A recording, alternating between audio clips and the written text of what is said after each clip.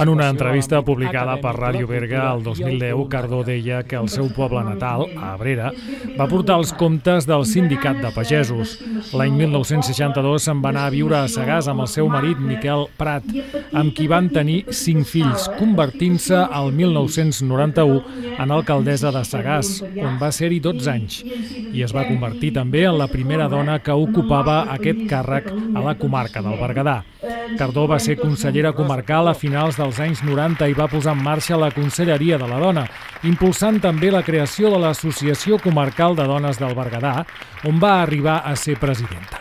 Casada amb un pagès, va ser una de les primeres persones que va oferir allotjament agroturístic al Berguedà i va lluitar per promocionar-lo arreu. Tenim l'agroturisme, que també l'hem de promocionar. I hem vist clarament que si no es promociona d'una forma o d'una altra, doncs s'està acabant, eh? s'està...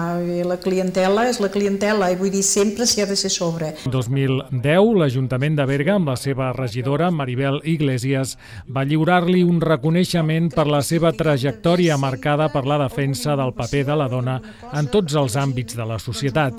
També va participar en nombrosos debats, xerrades i actes en defensa del territori. Cardó ha mort a Sagàs i demà dijous es farà el seu enterrament a l'església parroquial de la Guàrdia de Sagàs a dos quarts de cinc de la tarda. El tanatori s'ha instal·lat a Porreig. Ara, vull dir això, tu vas a la